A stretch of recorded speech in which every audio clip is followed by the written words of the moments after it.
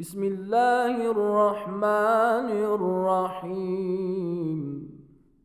قل يا عبادي الذين آمنوا اتقوا ربكم للذين أحسنوا في هذه الدنيا حسنة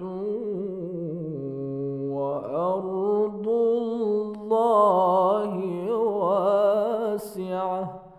وأرض الله واسعة إنما يوفى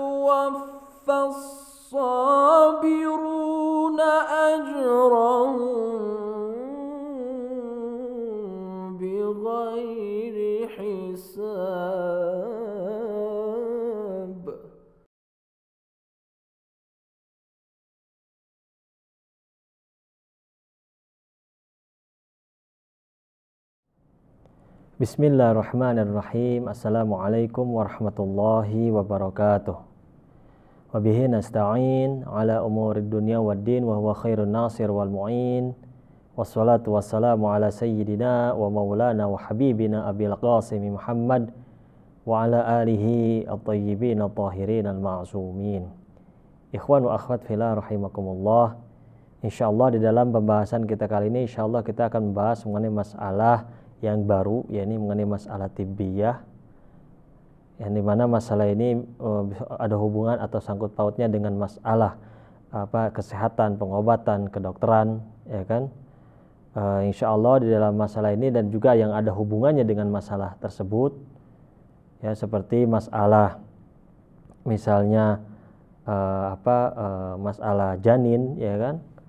Uh, yang ada hubungannya dengan janin dan sang ibu yang hamil ataupun masalah-masalah yang ada hubungannya dengan uh, apa ibaratnya aborsi atau masalah yang hubungannya dengan apa uh, pencangkokan atau masalah yang hubungannya dengan apa ibaratnya otopsi mayat dan hal-hal lain yang ibaratnya yang berhubungan dengan masalah ini.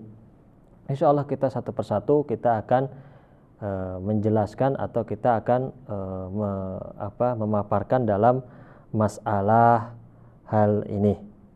Di dalam masalah yang pertama, eh, apa ibaratnya seorang masalah eh, apa ibaratnya dalam masalah eh, mencegah kehamilan, ya kan? Dalam mencegah kehamilan, apakah diperbolehkan orang atau seorang eh, wanita ya eh, dari eh, pasangan suami istri yang sah itu mencegah dari kehamilan dengan kondisi bahwa wanita tersebut sehat, tidak ada masalah di sini. Nah, secara hukumnya, secara hukum eh, apa? Secara hukum fikihnya bahwa eh, atau secara fatwanya bahwa mencegah kehamilan itu tidak dipermasalahkan dengan seizin daripada sang suami. Baik itu mencegah kehamilan itu dengan cara uh, azal ataupun dengan cara alat-alat penghalang yang lainnya, ya kan? Uh, yang di mana menghalangi daripada air sperma masuk ke dalam uh, rahimnya uh, sang istri itu tidak menjadi masalah secara hukum syar'inya. Nah, adapun mengenai masalah yang ada hubungannya misalnya dengan sekarang di apa di masa sekarang ada yang namanya uh, IUD ya IUD uh, apa ibarat yang yang apa, apa uh, yang di mana uh, mengikat ya mengikat saluran uh, apa saluran ke rahim ya IUD itu mengikat saluran ke rahim supaya sperma tidak sampai ke dalam rahim. Kalau itu tidak sampai ke dalam rahim, ya kan, dengan sperma tersebut dihalangi, maka itu diperbolehkan.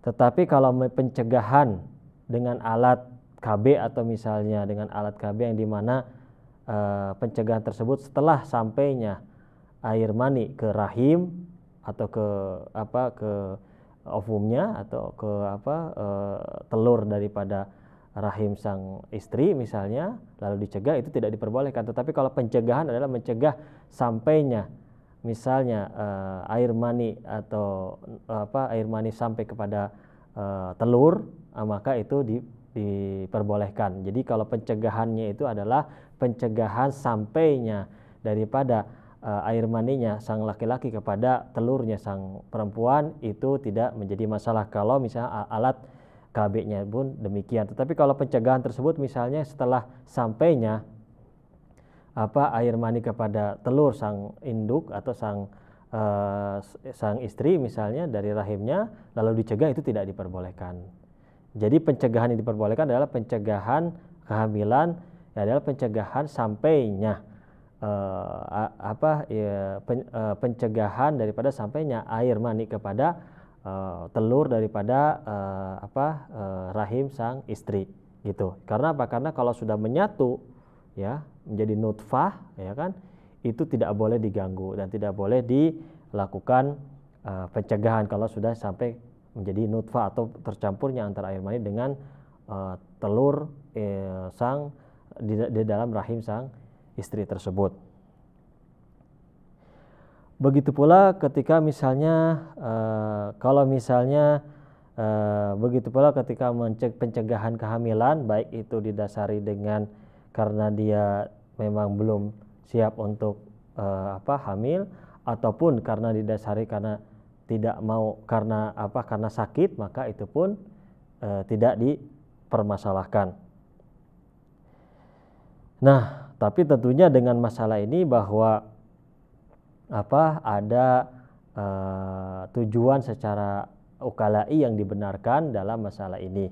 Jadi uh, kalau misalnya secara uh, menurut orang-orang yang berakal ini diperbolehkan maka itu pun tidak dipermasalahkan.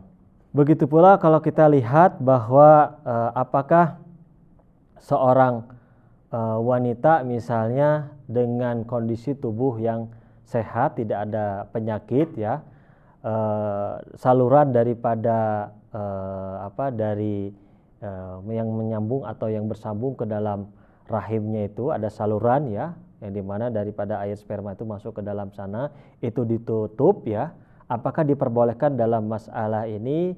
Itu diperbolehkan. Di dalam masalah ini tidak dipermasalahkan. Kalau tidak menyebabkan hal itu adalah doror atau hal yang merusak kepada tubuh daripada wanita tersebut. Gitu. Dan juga ini dengan garat atau tujuan yang dibenarkan oleh orang-orang yang berakal dalam masalah ini. Dan juga aman daripada segala hal-hal uh, yang berbahaya untuk sang istri ya kan? Baik secara jasadnya ataupun secara uh, jiwanya. Gitu. Dan tentunya dengan masalah ini harus dengan izin daripada sang suami untuk menutup ya atau mencegah saluran tersebut dengan alat KB misalnya. Karena sekarang uh, demikian dalam perkembangan kemajuan sekarang ada demikian. Nah, akan tetapi dalam eh, pelaksanaannya ketika ingin menutup daripada saluran tersebut itu e, diwajibkan untuk e, terhindarnya dari hal-hal e, yang muharramat. Maksudnya apa? Maksudnya ketika misalnya dipasang ya alat KB di dalam saluran tersebut ya kan, saluran KB untuk mencegah masuknya air sperma ke dalam rahim ya kan maka di dalam saluran sang istri tersebut itu kan ketika dimasukkan tersebut eh, misalnya eh, itu melazimkan adanya hal-hal yang melihat yang haram, melihat aurat dan segala macam, maka itu tidak diperbolehkan. Oleh sebab itu eh, apa diwajibkan untuk dihindarkan gitu, diwajibkan untuk dihindarkan di dalam masalah ini. Apalagi kalau misalnya yang memasangnya misalnya dokter laki-laki ini jadi bermasalah di sini. Jadi diwajibkan untuk dihindarkan dari perbuatan-perbuatan yang haram untuk memasang alat-alat KB tersebut.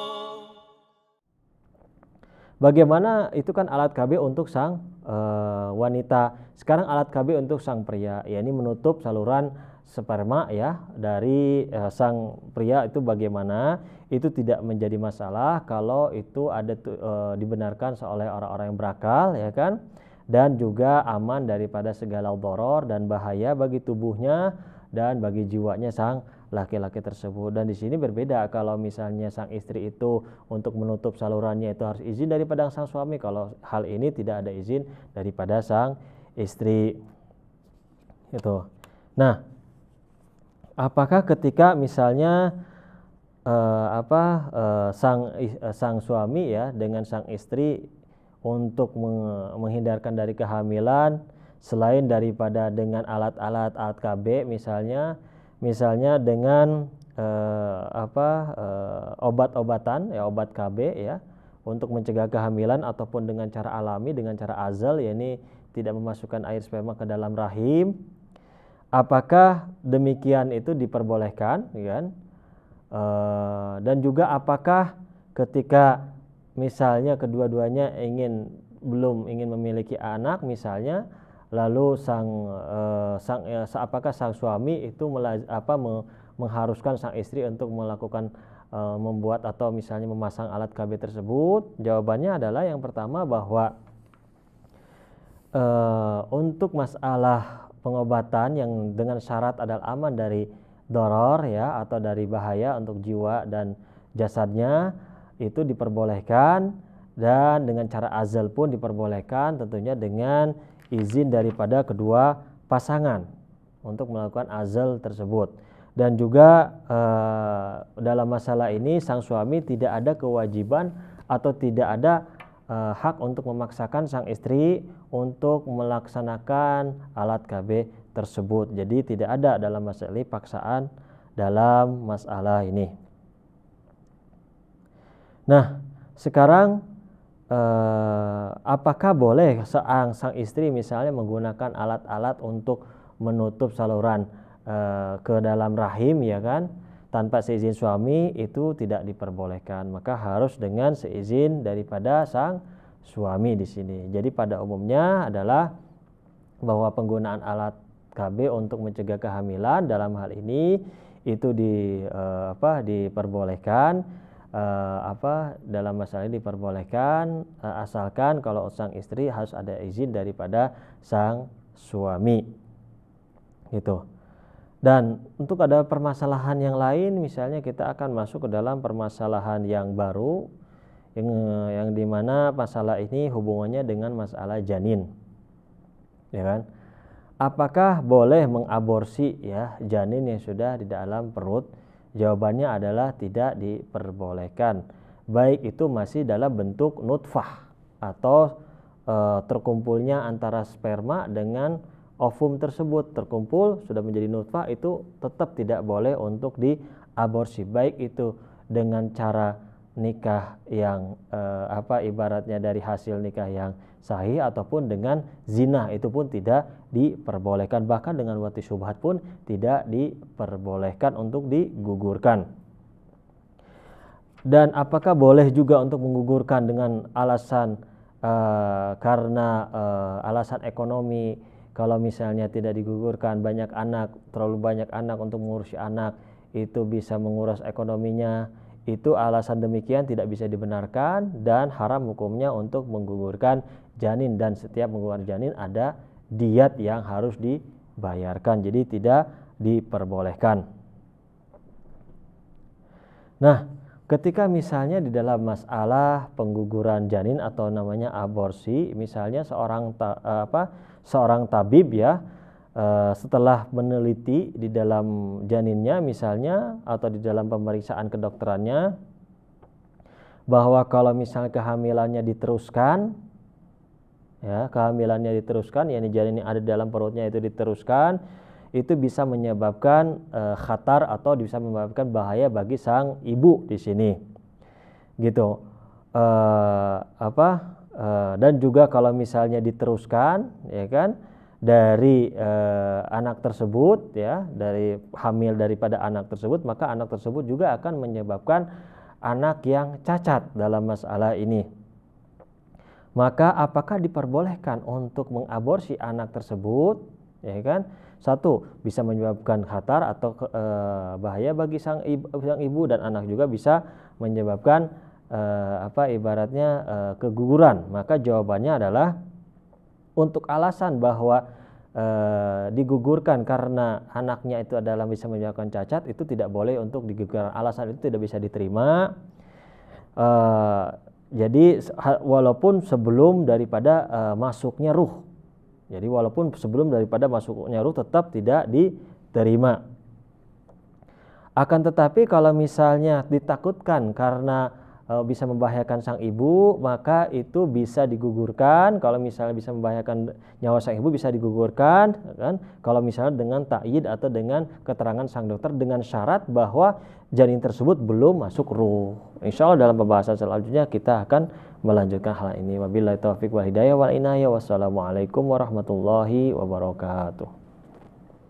اللهم املأ قلوبنا بالعلم والمعرفة وطهر بطوننا من الحرام والشبهة واكفف أيدينا عن الظلم والسرقة واغضض أبصارنا عن الفجور والخيانة واسدد أسماعنا عن اللغو والغيبة برحمتك يا أرحم الراحمين.